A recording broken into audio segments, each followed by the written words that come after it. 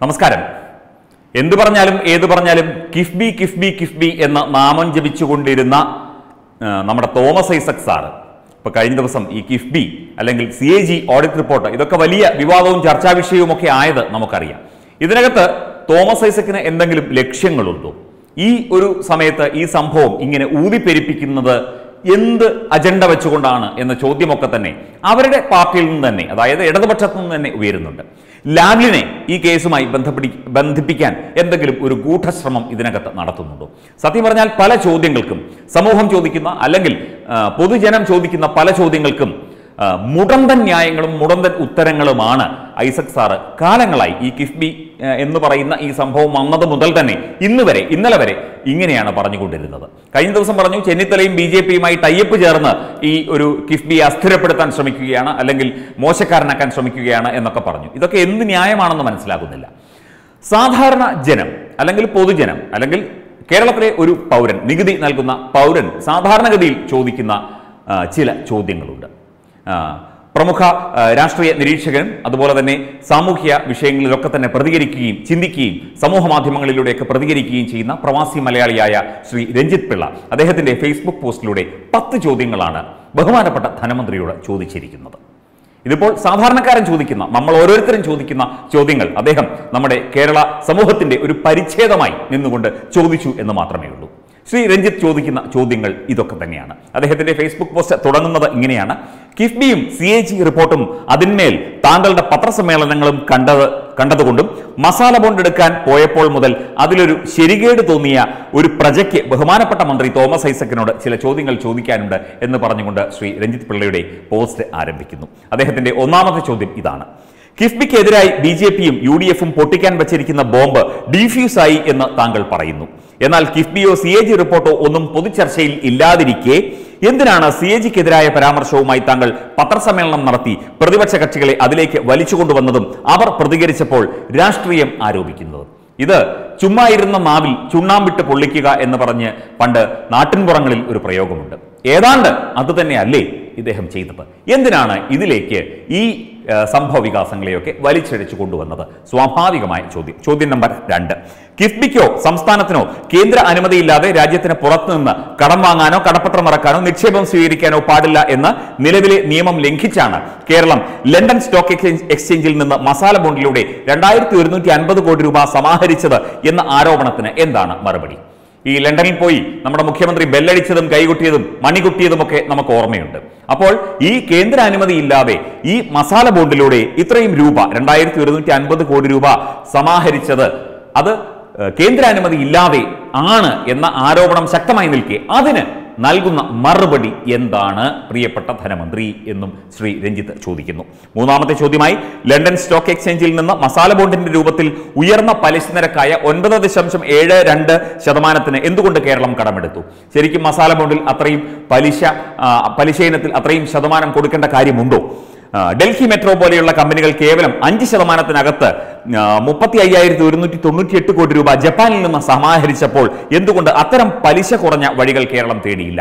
എന്തിനാണ് London stock എക്സ്ചേഞ്ചിലേക്ക് മാത്രം പോയത്? മറ്റ് മാർഗങ്ങൾ പലിശ കുറഞ്ഞ മാർഗങ്ങൾ കടമെടുക്കാൻ തേടിക്കൂടായിരുന്നോ? അതല്ലായിരുന്നോ? ജനത്തിന് ഉപകാരപ്രദം? എന്തെങ്കിലും കമ്മീഷൻ വ്യവസ്ഥ ഇതിലുണ്ടോ? എന്നുള്ള ചോദ്യം പരോക്ഷമായി തന്നെ. ലണ്ടൻ സ്റ്റോക്ക് എക്സ്ചേഞ്ചിന് നൽകിയ കടപ്പത്രം ആരാണ് ഒപ്പിട്ടത്? സർക്കാരിന്റെ നായകനും രാഷ്ട്രപതിയുടെ പ്രതിനിധിയുമായ ഗവർണറോ അതോ കിഫ്ബി ചെയർമാനായ മുഖ്യമന്ത്രിയോ? ഇവരാരെങ്കിലുമാണ് ഒപ്പിടേണ്ടത്? ഇവരിൽ ആരെങ്കിലുമാണോ ഇത് ഒപ്പിട്ടിരിക്കുന്നത്? ന്യായമായ ചോദ്യം.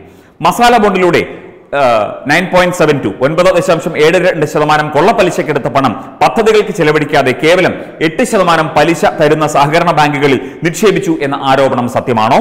ഈ ഇത് സത്യമാണെങ്കിൽ ഈ നഷ്ടം വരുന്ന പലിശ ഇനത്തിലെ തുക ആര് അടയ്ക്കും? സഹകരണ ബാങ്കുകൾക്ക് അതായത് സി പി എം ഭരിക്കുന്ന സി പി എമ്മിന്റെ കേന്ദ്രങ്ങളായ സഹകരണ ബാങ്കുകൾക്ക് എട്ട് ശതമാനം പലിശയ്ക്ക് ഈ ഒരു പണം നിക്ഷേപിച്ചു അവിടുന്ന് കടമെടുത്ത പണം നിക്ഷേപിച്ചു എങ്കിൽ ആ മിച്ചം വരുന്ന ഒന്ന് ദശാംശം ഏഴ് രണ്ട് ശതമാനത്തിന്റെ നഷ്ടം നഷ്ടക്കണക്ക് ആര് വഹിക്കും? അത് ആർക്കാണ് നഷ്ടമായത്?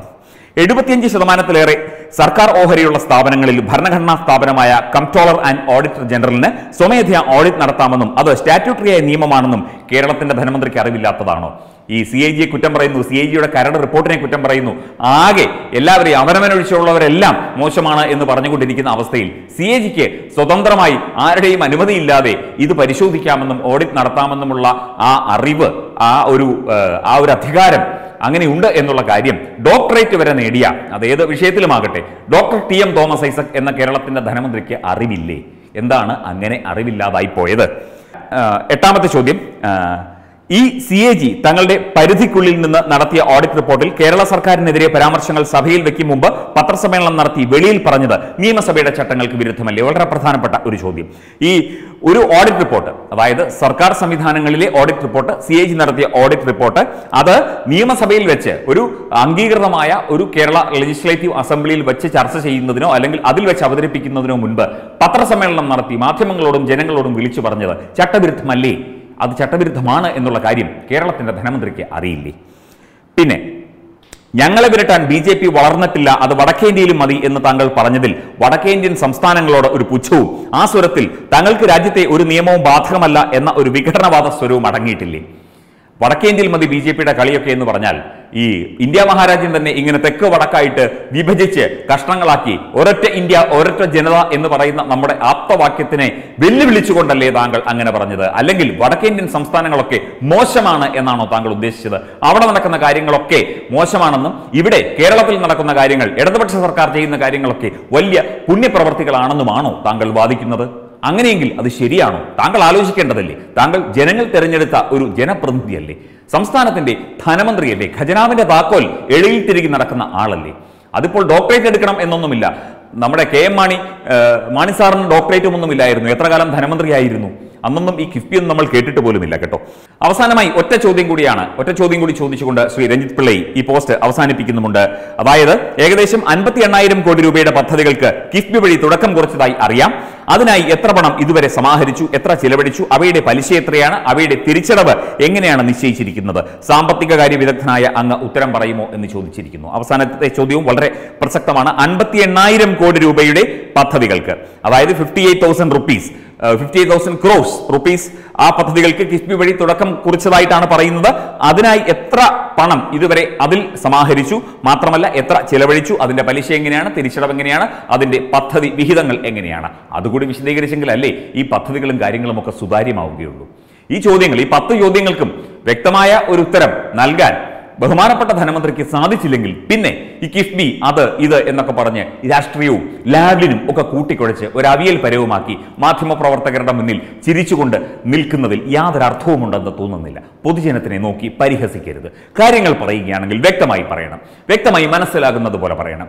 ആവശ്യമില്ലാത്ത ടെക്നിക്കൽ പദപ്രയോഗങ്ങളും സാമ്പത്തികമായുള്ള അങ്ങ് പഠിച്ച പുസ്തകങ്ങളിൽ നിന്നുള്ള കാര്യങ്ങളുമൊക്കെ വിളിച്ചു പറഞ്ഞ് ജനങ്ങളെ ഒരുതരം മണ്ടന്മാരും വിട്ടികളുമാക്കുന്ന ഈ പരിപാടി അത്ര ശരിയാണ് എന്ന് തോന്നുന്നില്ല അതുതന്നെയാണ് ഈ ചോദ്യങ്ങൾ വ്യക്തമായി തന്നെ ഒരു പൊതുസമൂഹം ചോദിക്കേണ്ട ചോദ്യങ്ങൾ തന്നെയാണ് ശ്രീ രഞ്ജിത്ത് പിള്ളൈ ഈ ഒരു പോസ്റ്റിലൂടെ ചോദിച്ചിരിക്കുന്നത്. ഇതിന് ഏതിനെങ്കിലും ഒരെണ്ണത്തിനെങ്കിലും താങ്കൾക്ക് ബഹുമാനപ്പെട്ട ധനമന്ത്രിക്ക് ഉത്തരമുണ്ടോ എന്ന് മാത്രമേ ഞങ്ങൾക്ക് അറിയേണ്ടൂ വെബ് ഡെസ്ക് തത്വമേ ന്യൂസ്.